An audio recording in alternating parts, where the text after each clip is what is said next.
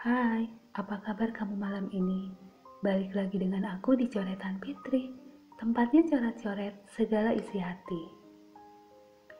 Kamu tahu nggak, untuk sebagian orang, entah itu introvert atau bukan, menulis itu sesuatu yang menyenangkan.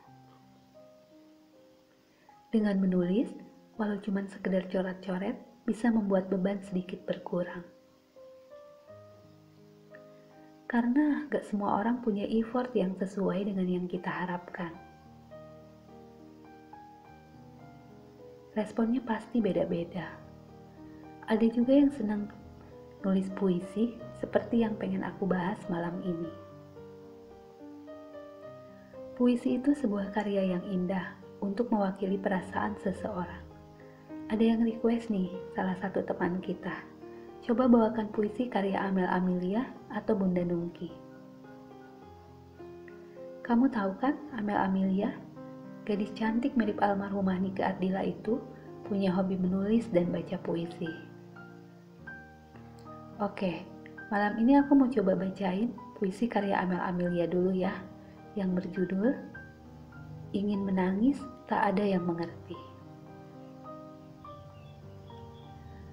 Rasanya sakit sekali, seperti ditusuk berkali-kali hati ini. Tak sadarkan diri, merasa di ruangan yang gelap, seperti dikurung. Sesak, rasanya sangat sepi, sendirian.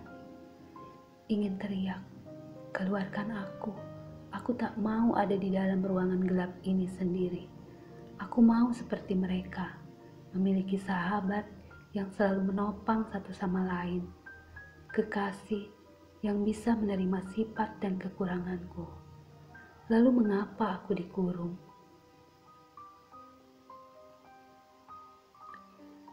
Ingin teriak, rasanya aku dibuat bingung oleh orang-orang di sekitarku dan oleh diriku sendiri.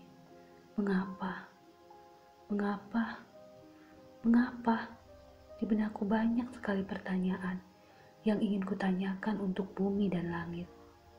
Wahai bumi yang dikelilingi banyak planet, dan langit yang ditemani banyak bintang, bantu aku, aku mohon.